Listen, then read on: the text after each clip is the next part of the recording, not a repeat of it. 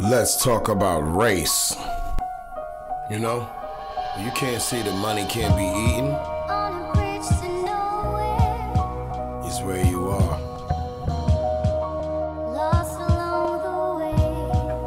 When you believe the history that assassins write, is where you be.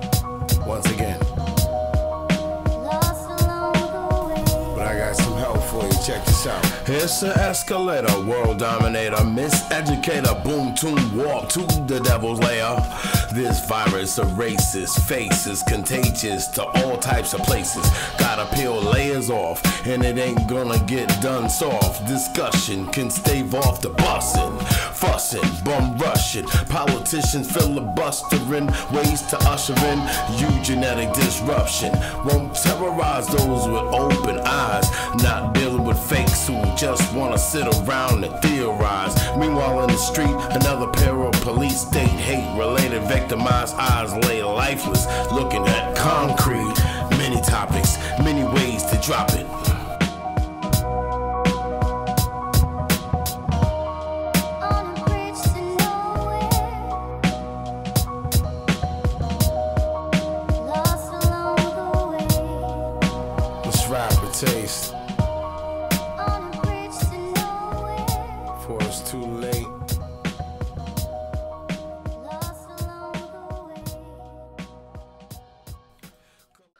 How did we get here?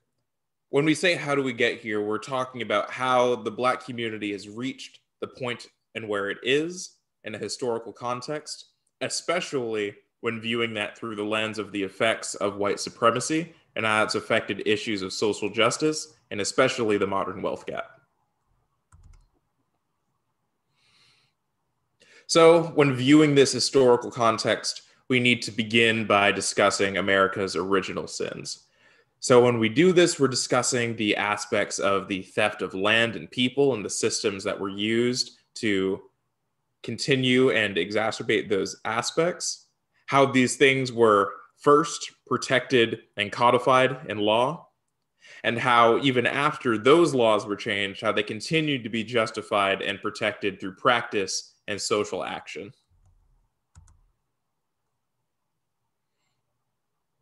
So, to begin by discussing the history and the aspects of slavery, we have to begin with how slavery actually originated in the United States. So, in order to begin that conversation, we have to understand the context of all of this. People generally have a working understanding of how the history of slavery, or how at least the function of slavery in the United States, uh, sort of uh, persisted through its golden age, so to speak. But it may be uh, significantly less commonly known exactly how it began in the incited incidents.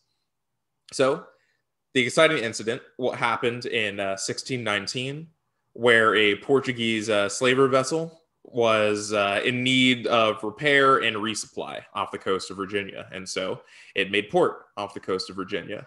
However, they, these Portuguese sailors lacked any form of currency, and they only had their trade goods which they were traveling with, which happened to be chattel slavery, African slaves. Now, at this point, there wasn't a history of African slaves being used or imported into the original 13 colonies yet.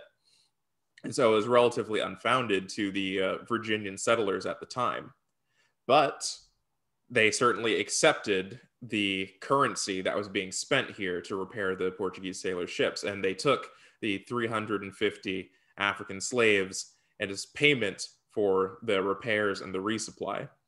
Now, originally in this settlement and in this context, there was a much more loose and indentured servitude esque aspect to how these slaves are going to be treated. However, very quickly, not even a generation into this uh, to the situation, this was deemed by the colony of Virginia to no longer be a realistic or feasible option, and much more strict laws separating how white indentured servants and black slaves were going to be treated were issued that were much more in line with how future aspects of African slavery in the United States would continue to be developed.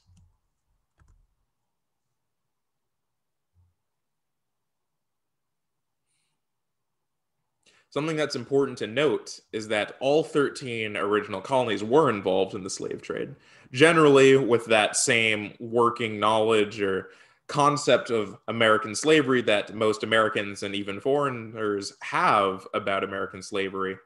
It deeply revolves around the South and especially the Deep South. However, it's important to understand that all 13 original colonies were involved in the slave trade. Though it's true that the South and the Deep South had a much higher population of slaves because it was more economically viable to rely on hard physical labor that slaves could perform in order to harvest crops that were more realistically drawn from a longer growing cycle in the warmer South than the colder North. There was still slave labor in regards to uh, crop harvesting on the smaller plantations in the north, as well as in other forms of labor, such as some simple aspects of uh, naval supply manufacturing.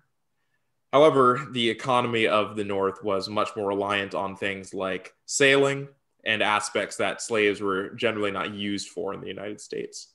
However, even in these aspects of the Northeast that were less reliant on slave labor, aspects of importance in the institution of slavery was still very powerful in the Northeast. And New England cities such as Providence, Rhode Island were one of the premier locations and destinations for slave imports. So, ships that were involved in the triangle trade system, which revolved around European powers purchasing African slaves from the African continent or capturing African slaves in the African continent in some cases bringing them to the colonies in the Americas, whether that be originally in the uh, Caribbean islands to later on South American colonies such as Brazil, and then now at this point, North American colonies such as Mexico and now the 13 colonies.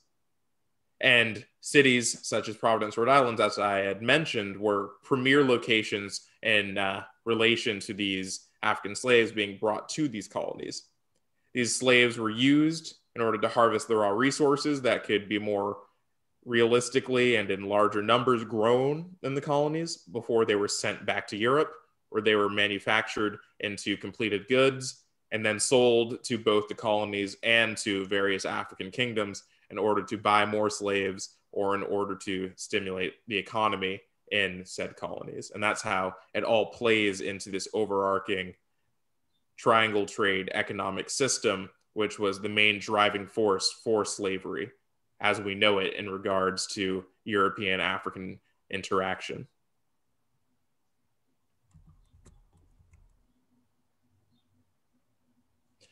An important moment in history that really uh, marks a change in American slavery and an important aspect that would continue to truly uh, distinguish itself as we talk about the uh, history of slavery in the United States was the Missouri Compromise, which was a compromise that was made in order to have the slave population of states partially count towards the population of that state.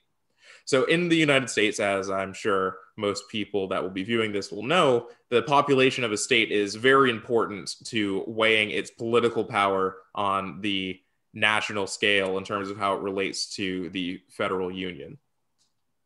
And in that sense, northern states had a significant advantage because it had a much higher population of white citizens as opposed to the south which had its population of white citizens and also an extremely large population of black slaves which weren't counted towards population in regards to citizenry because they were not free peoples so in order to try to bolster their political power. Slave states tried to you know, push forward on this compromise where they would treat their slave populations as people for the sake of having uh, more representation in the union in regards to their voting powers and seats in Congress. There was eventually a compromise set where African slaves would be counted as three fifths as an individual to this. So, three fifths of the population in these states that are African slaves would be added to the population in regards to their representation in Congress, among other things.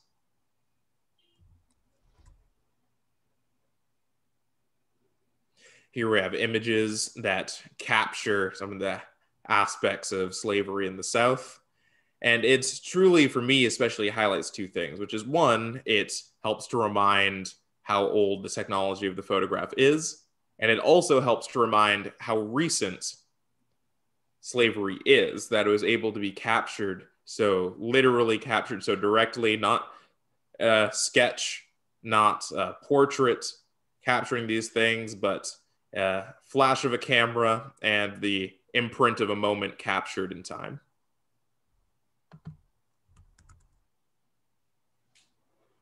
An important aspect to note when we talk about the history of American slavery, of course, is the multiple revolts and uh, insurrections that were thrown in order to have African slaves overthrow their oppressors or try to seek freedom or establish individual states. Much as there are stories of slave revolts throughout all aspects of the triangle trade, whether that be slave revolts in the Caribbean, which are famously successful, such as the Haitian Revolution, or many such revolts in colonies such as Brazil, in addition to also the United States.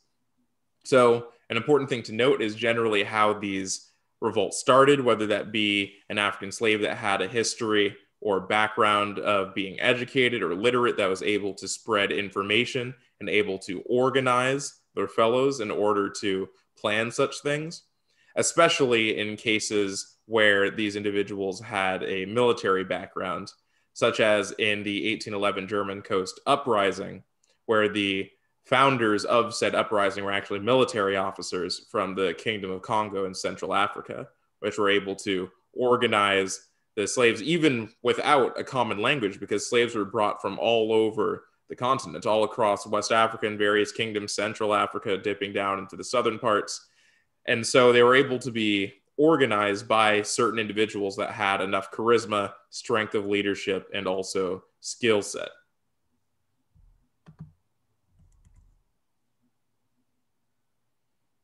an important aspect and historical precedent that was set, which would lay a foundation and a bedwork or uh, bedrock that would be uh, significantly important for aspects after slavery and after the era of slavery in the United States was the Dred Scott case. So even though it was a court case taken to the Supreme Court during slavery in regards to an African American slave, Dred Scott, who is suing for his freedom, it was something that would lay a strong precedent for how aspects like this would be treated in the American legal system going forward.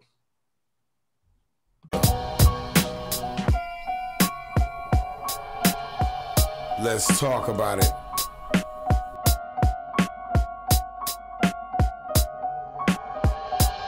Let's talk about race.